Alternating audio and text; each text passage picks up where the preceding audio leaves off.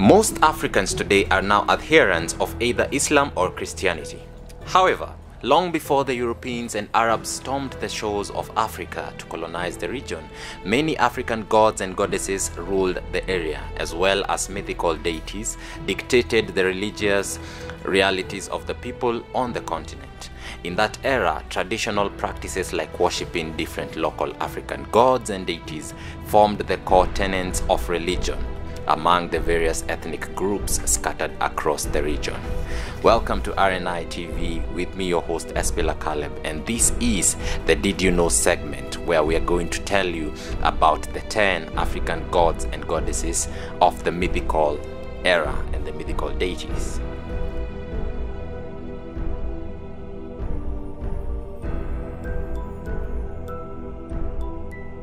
Number one is Nana Buluku Nana. Nana Buluku Nana is a highly venerated goddess who is considered to be the female supreme among the uh, some West African cultures. She is particularly worshipped in the traditional region of the Fon people in Dahomey, now Benin Republic, and the Iwe people of the Togo. The goddess, who is also known as Nana Buruku, Nana Buku, or Nana Boklu, is widely regarded as to be the one of the most influential deities in West African theology and is held in high esteem among many cultures. As a matter of fact, Nana Buluku is recognized and worshipped by different ethnic groups other than just the Fon and the Ewe people. She is also worshipped by the Yoruba people in Nigeria who call her Nana Buku. The Igbo people in Nigeria who also revere and worship her call her Olisabulua. Some people actively worship Nanabuluku, however, others don't worship her directly but worship the gods that originated from her. Nanabuluku originated among the ancient Dahomey people.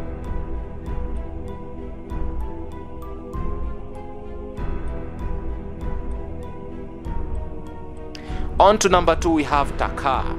Takar is a demigod who is severely and highly revered in the Serer region, which is particularly known by the people of Serer ethnic group, a West African ethno-religious group found in Senegal, Gambia, and Mauritania today. The Serer people diligently worship Takar, who is also known as Taakar.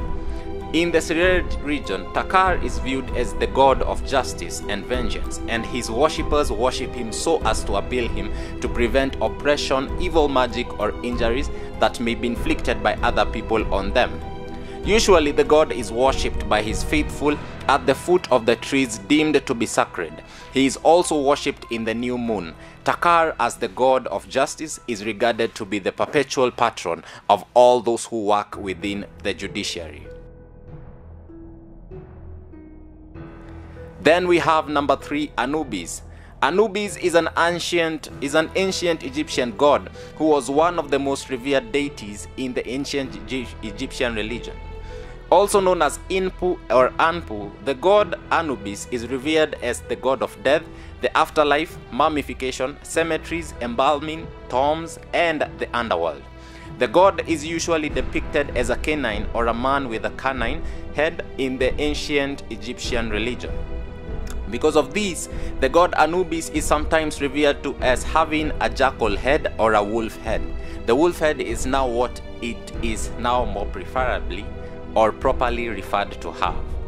Anubis is known to have assumed different roles in the ancient times, as early as the first dynasty of the Egyptian kings, which is between 3100 BC and 2890. The god was depicted to be the protector of graves. Later, he was depicted as an, also an embalmer who tended to the dead. He was also known as the lord of the underworld. Anubis is one of the most frequently depicted and mentioned gods in the Egyptian pantheon. Then we have number four, Adroa. Adroa is a highly revered deity.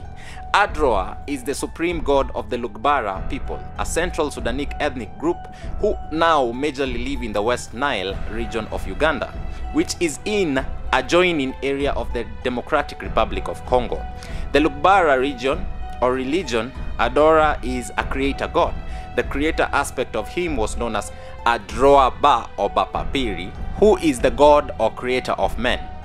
According to the Lugbara people, Adroa is one who created the first man on earth whose name is Gboro Gboro. He also created the first living woman called Mimi. The Lugbara religion explains that Boroboro and the Mimi were also twins who went on to become the ancestors of the Lugbara people. On to number five, we have Njame or Njambe. Njame is a highly revered god among the Buloki people, also known as the Loki people. In traditional religion of the Loki or the Buloki people, Njame is the supreme creator, god figure who controls everything. Take note that the Buloki people are an ethnic group that is primarily based in the Democratic Republic of Congo today. Jame is prominent in Buloki myths regarding to the origin of death. This, according to anthropologist John H. Weeks, is because Njame is also used to refer to a deity associated with sickness and death. Then we have Ni Ailik. Ni Ailik. Nhialic is a supreme creator god of the Dinka people, a Nilotic ethnic group native to the Sudan. According to the Dinka mythology, Nhialic, as the supreme god, lives in the skies and is regarded to be a male, although he is known to have physical manifestations. According to some accounts, the god is also referred to as Deng Dit. As per the Dinka mythology, the Dinka people believed that their god, Nhialic, was the one who created the first man called Garang and the first woman called Abuka. Nhialic created them from clay, and at first, both Garang and Abuk were very little in size, as they were just miniaturized form of present day humans.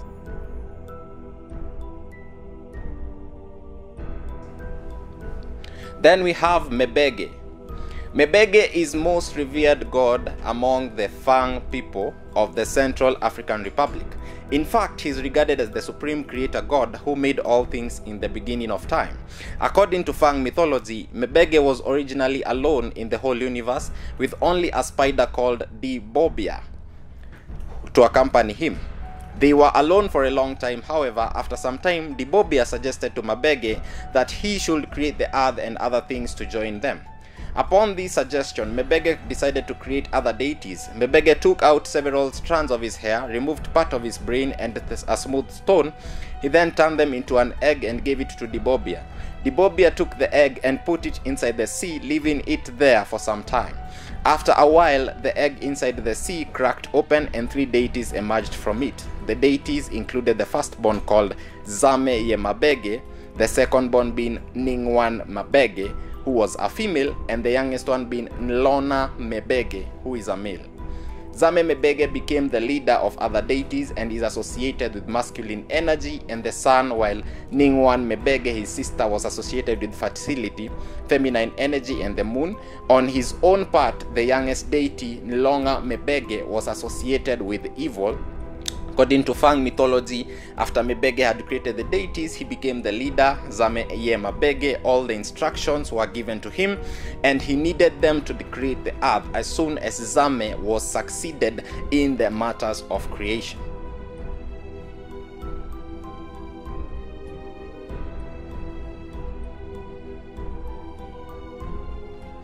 Number 8 we have Amdioha.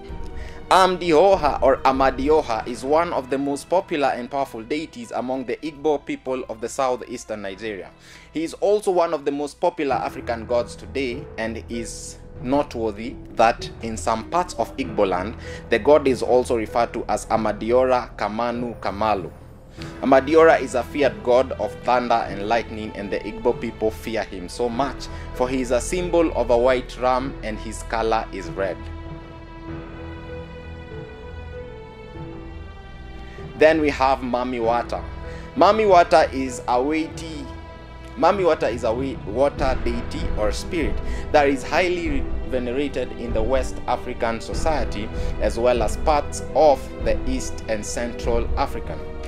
Also known as Mami Wata, spirits are also most frequently depicted as females, however, they are also sometimes depicted as males. Some scholars have claimed that Mami Wata is actually a Pidgin English derivation of Mother Water, meaning that the goddess title of the mother of water or the grandmother of water.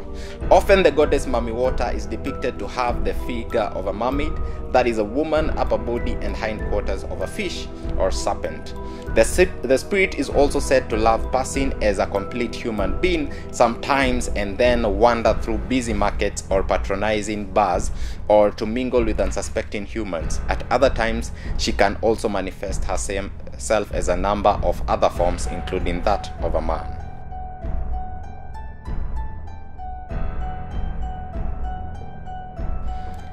The last one is Ngai, Ngai is one of the highest or the highly revered African gods. Ngai is the supreme god of the Kamba and Kikuyu ethnic groups of Kenya, regarded as the omnipotent god. Ngai, who is also known as Engai, Enkai, Muai, Muiai, is also known in the spirituality of the Kamba and Kikuyu people as the creator god of the universe and all of the things that are in it. According to the Kamba and the Kikuyu people, Ngai created the very first human beings. The first man that he created was called Gikuyu and the first woman is called Mumbi. The Kikuyu ethnic group often worshipped the god with their faces set on Mount Kirinyaga, also known as Mount Kenya.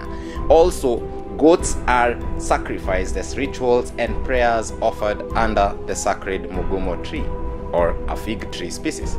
Sacrifices are usually performed on occasions when people are faced with highly serious problems like epidemics and droughts.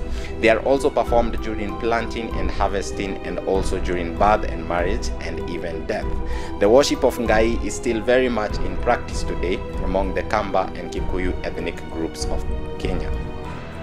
That is it for today, folks. Remember to like, subscribe, and share. And always remember to leave the comment below of what video you like us to do next. Thank you for the various views and subscriptions. Until next time, see you. My name is Espilakal.